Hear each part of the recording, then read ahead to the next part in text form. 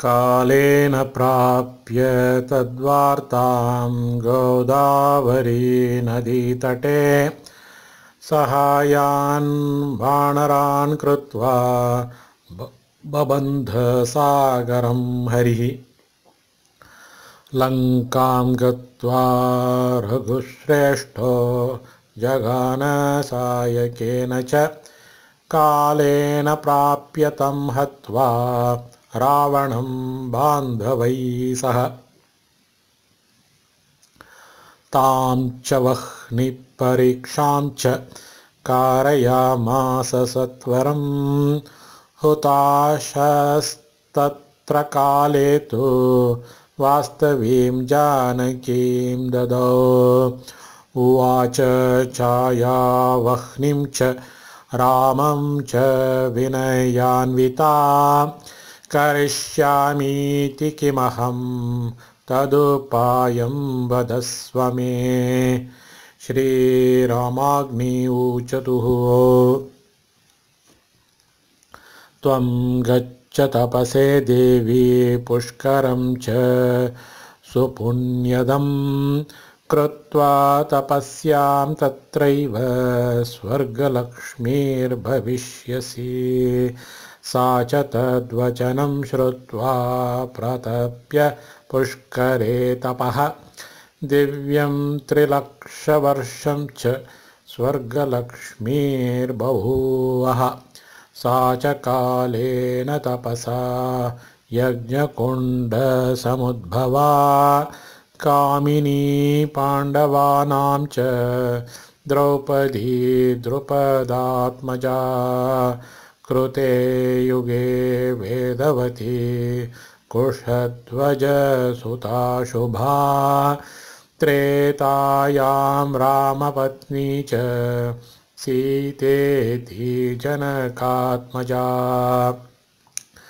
तच्छाया द्रौपदी देवी द्वापरे द्रुपदात्मजा त्रिहायणी च सा प्रोक्ता विद्यमाना युगत्रये नारद उवाच प्रिया पञ्चकतं तस्य बभूवोर्मुनिपुङ्गव।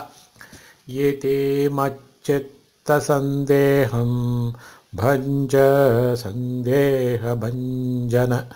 श्रीनारायण उवाच लङ्कायां वास्तवी सीता रामं सम्प्राप नारद रूपयौवनसम्पन्ना छाया च बहुचिन्तया। रामाज्ञो राज्ञया तप्तुम् उपास्ते शङ्करं परं कामातुरापतिव्यग्रा प्रार्थयन्ति पुनः पुनः पतिं देहि पतिं देहि पतिं देहि त्रिलोचन।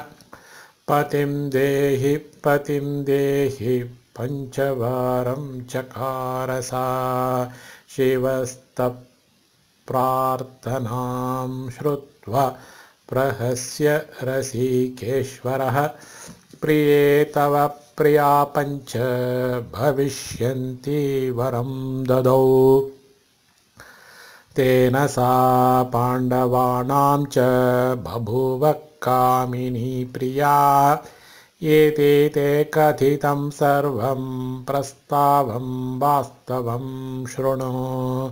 अतः सम्प्राप्य लङ्कायां सीतां रामो मनोहराम् विभीषणाय तां लङ्कां दत्त्वायोध्यां ययौ पुनः एकादशसहस्राब्दं कृत्वा राज्यं च भारते जगाम सर्वैर्लोकैश्च सार्धं वैकुण्ठमेव च कमलांशा वेदवती कमलायां विवेशसा। कथितं पुण्यमाख्यानं पुण्यदं पापनाशनं। सततं मूर्तिमन्तश्च वेदाश्चत्वार एव च। सन्ति यस्याश्च जिह्वाग्रे सा च वेदवती श्रुता। धर्मध्वजसुताख्यानं निबोध कथयामि ते। इति श्रीमद्देवी भागवते महापुराणे अष्टादशसहस्र्यां संहितायां नवमस्कन्धे महालक्ष्म्या वेदवतीरूपेण राजगृहे जन्मवर्णनं नाम षोडशोऽध्यायः अथ सप्तदशोऽध्यायः। श्रीनारायण उवाच। धर्मध्वजस्य पत्नी माधवीति च विश्रुता। नृपेण सार्धं सारामे रेमे च गन्धमादने।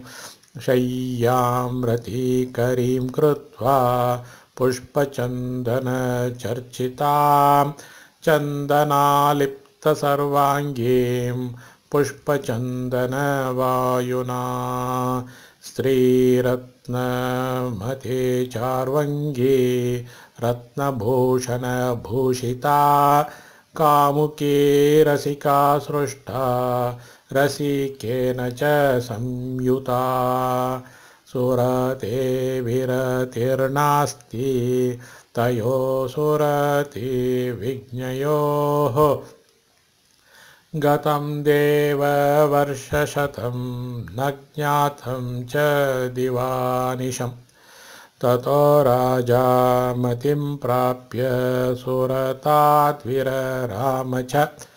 कामुकी सुन्दरी किञ्चिन्न च तृप्तिं जगामसा दधारगर्भं सा सद्यो दैवादशतं सती श्रीगर्भा श्रीयुता सा च सम्बभूव दिने दिने।